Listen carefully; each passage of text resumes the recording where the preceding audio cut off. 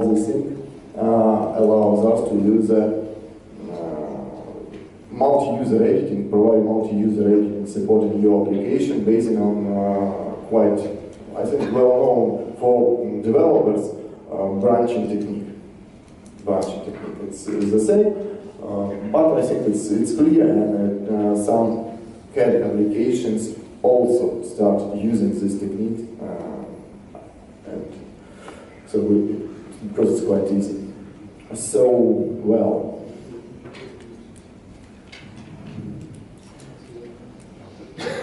The other important part of uh, functionalities that we provide for our customers is a set of uh, universal services for common, highly required operation presented in almost every CAD-related application. And uh, this slide presents overall structure of uh, Teigha components. As you can see, Visualize is a key product of uh, Teigha framework.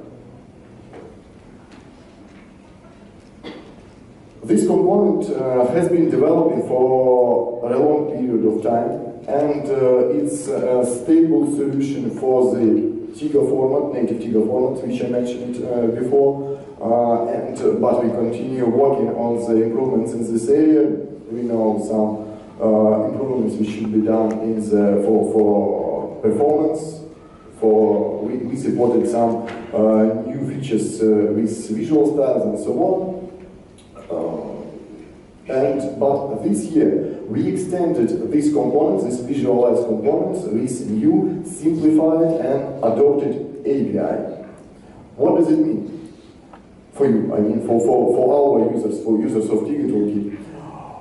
For users toolkit, it means that you can, uh, you, you have ability, uh, you have access to all, to almost all, to almost all Teigha functionality in simplified, in simplified manner, just with implementing uh, rendering functionality.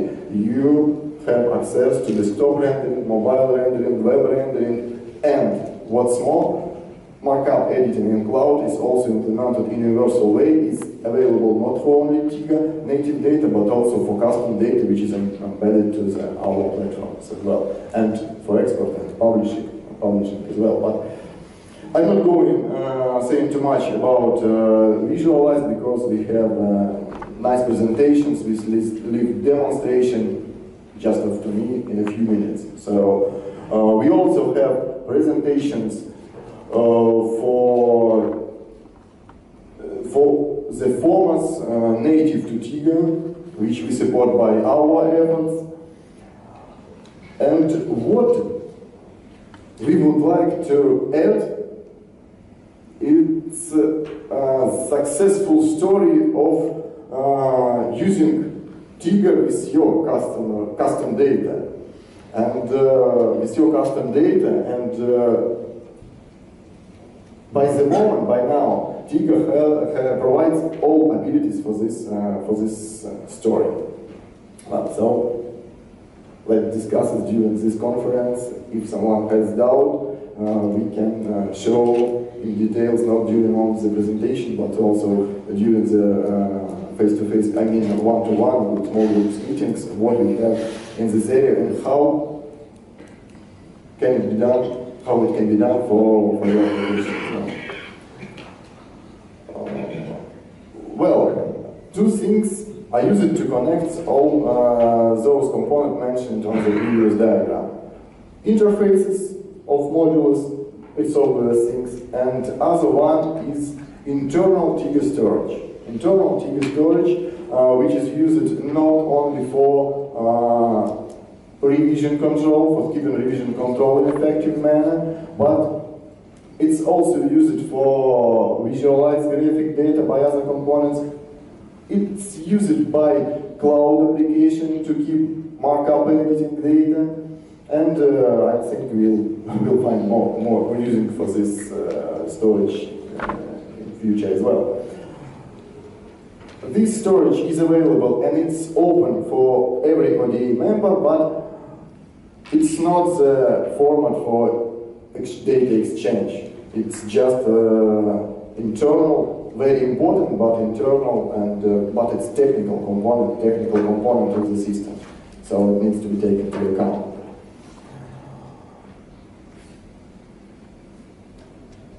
Well, for components, the same as for different format support, we provide, uh, we are working, we continue working, we work, we working on usability and uh, usability and performance of our of provided tools, of provided tools. I mentioned already Visualize API, which provides simply add, add, add uh, rendering and not only rendering of uh, different data. We'll see examples of this. We'll add Publish API, which allows you to create smart interactive documents in PDF containing 2D, 3D uh, data, and uh, I think it's a great step. Uh, I mean, Integra, uh, Integra, and uh, I hope in your application as well to provide uh, such uh, additional documents for interactive documents for collaboration with uh, your members. But maybe it will be more clear during the publish API presentation. We continue working uh, in uh, performance on our visualized system. We made some improvements, but a lot of work is going to be done uh, even uh, to the end of this year by December release, but we're going to continue uh, next year on this area as well. Uh, we provide cloud, data cloud architecture, and one of the purpose, uh, uh, two purposes, performance, and the other purpose is usability of this platform. Simply deploying, simply deploying of this system for, for user all, of the cloud. Well, and um, all these things leads me to answer or to answer on questions uh, which I mentioned starting uh, starting my speech. Uh, certainly, maybe it uh, would be more correct to say uh, not answer, but um, the answer suggested by order, and uh, we'll be glad to to get your feedback on this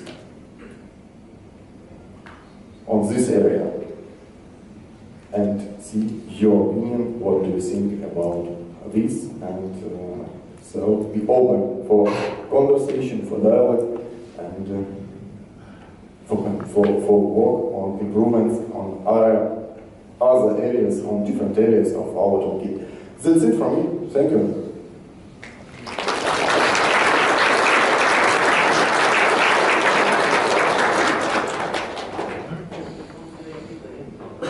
Questions, if someone has